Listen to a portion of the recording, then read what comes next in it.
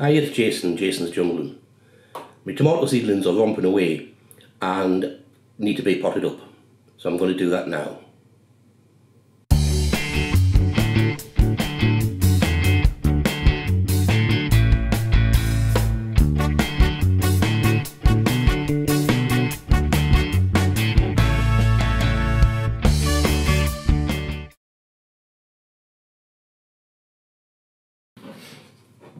These are my Crimson Crush. This is the first time I've grown these, but there's been so many good reviews about them.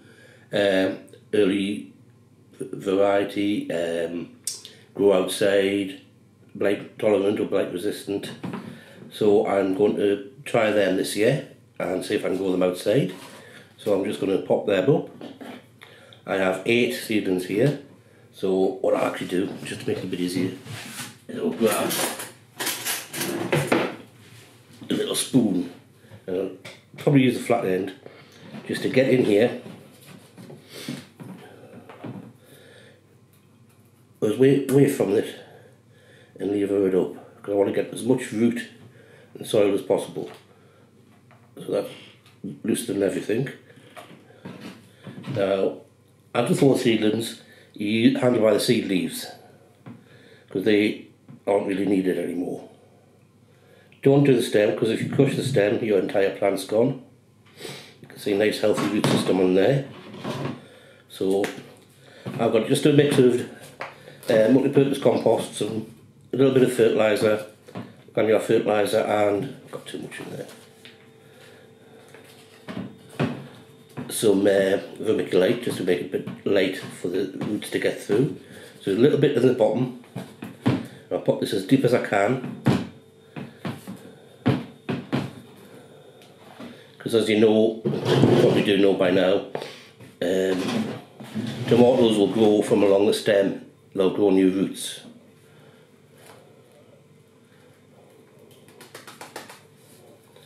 You know, that helps them as a vine. They don't usually, they're not a climbing vine, they're a sprawling vine, so when they're going along the ground, they grow these adventitious roots along the stem that lets them uh, basically get more moisture, anchors them in, get more nutrients.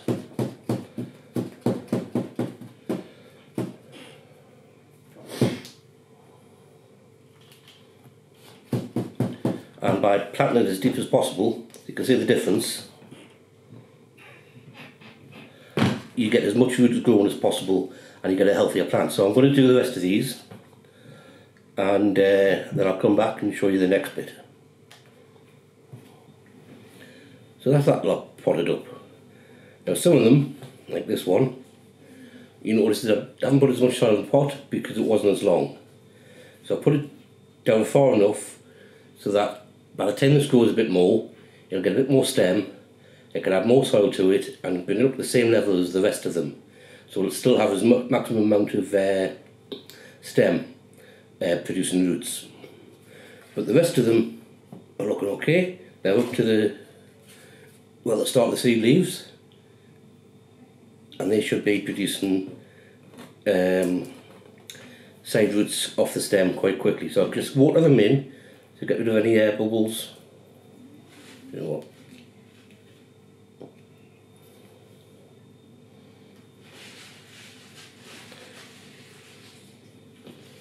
More of a water flow if I take that off.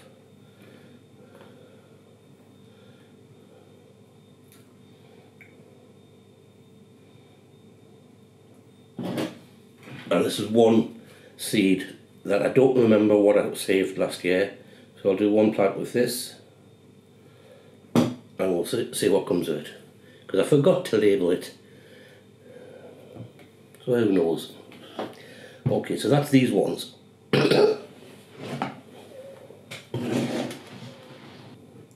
I have main ones. I made have planted these too early. But they're coming along okay. Um, I haven't had a problem where I've had the fans on and I think the fans dried them out too much and some of them got a little bit burnt and desiccated. But apart from that they're quite healthy. They are dripping a bit so they'll be getting really good water. But I'm putting them into this size pot. So as you see, quite a bit deeper. So I'll be able to bury them up to sort of like there and get more roots going on them as well. So I'll just move this out of my way.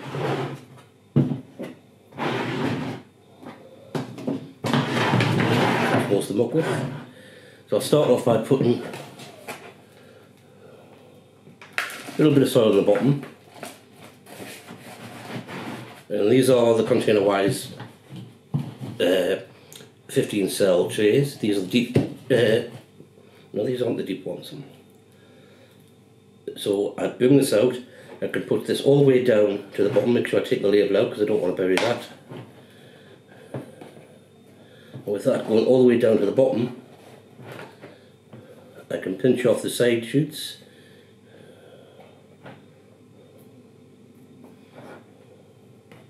Now some people leave them on. I like to pinch them off so that they, they don't end up you know rotting away on the plant. And then just fill this up.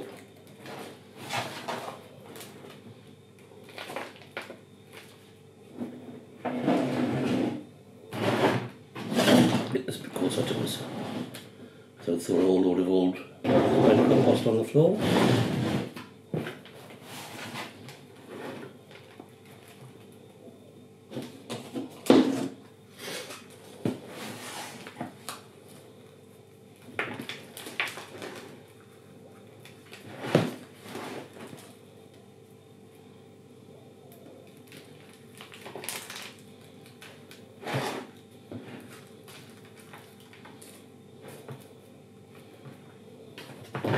Tap them down. I like to tap them because it just forces everything a little bit firmer without too, me pressing too much on it to break the stems or anything. Now I try to get them centred, this one isn't quite centred. And that's the last popping up that I need.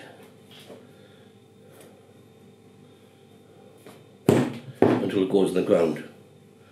And again in the ground I can probably take off the bottom couple of leaves and plant it even further.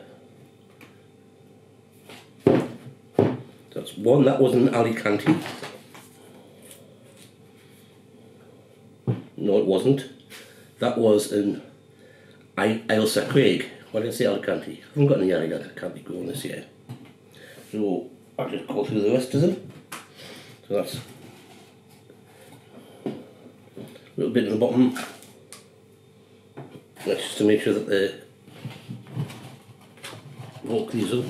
I'll let them dry out for a little while because if they're too wet they fall apart too easy. Make sure I've got the label and that I'm not burning that. This one is a Coeur de Bois, uh, something hot by the sounds of it. Coeur, yeah.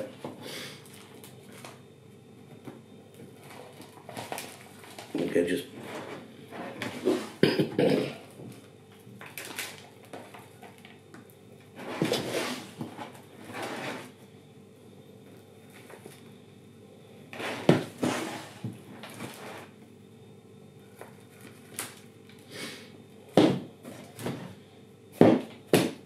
When I tap it down, it actually goes down quite a bit as it fills up all the spaces. Then I have accidentally knocked off one of these leaves. That doesn't matter, it will be grow new leaves soon. And just finish filling it up right up as much as possible. As long as it's got its main growing tip, it'll be fine, honest gov.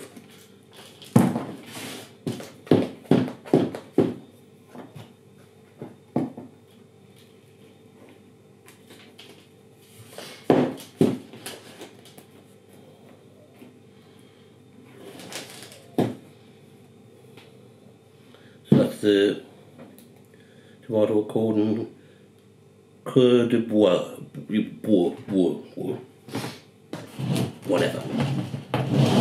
Next one.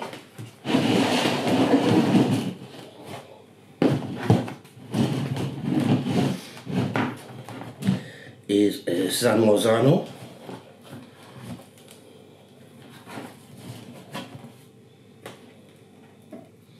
Well, these are the uh, paste tomato.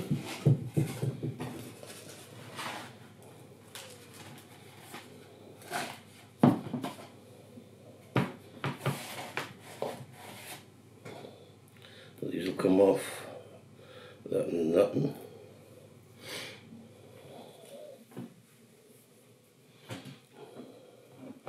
Now I've got two types of San Marzano.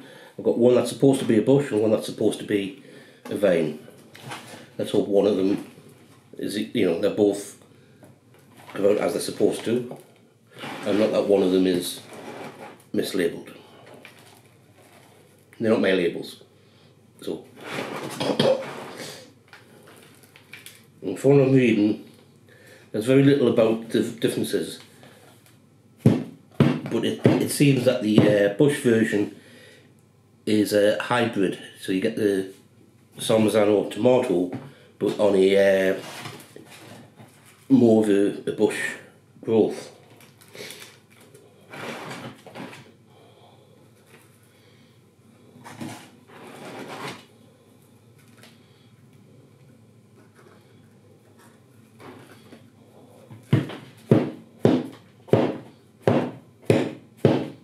These will also all get watered, both from the top to set it in and from the bottom to uh,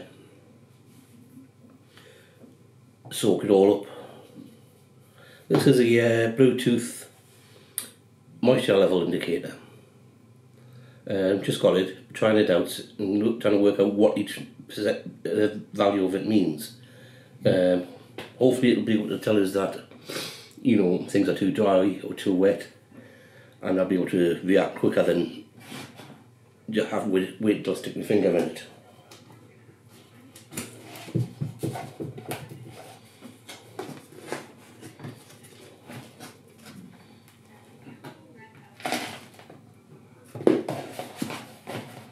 Next variety is Amish paste.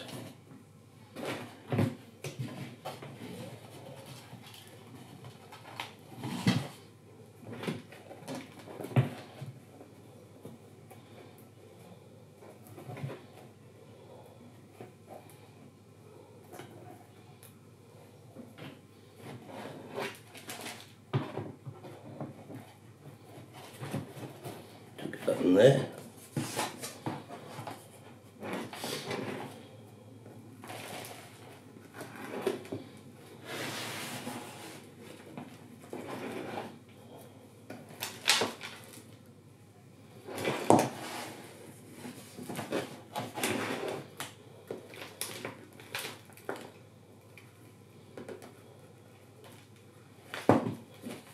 Took it down a little bit. A bit more. You can't see it's all the two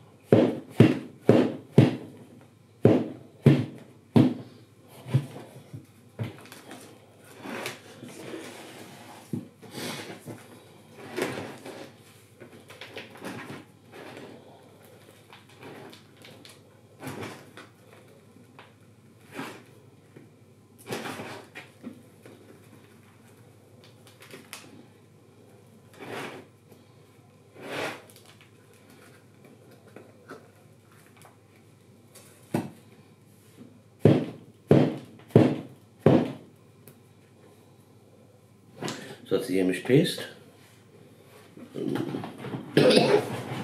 Whoever put the, uh, the label. Hmm. Borrow the label from another one for now.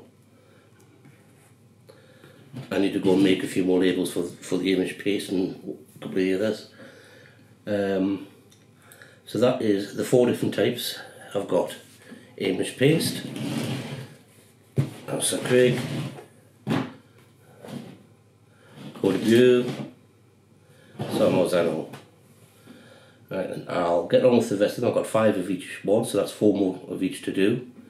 Give me a total of 20 of them, and then they go back into the tent. Okay, so hope you enjoyed that. Uh, I will see you on my next video. Click like if you haven't subscribed already, please subscribe. And I will see you later. ta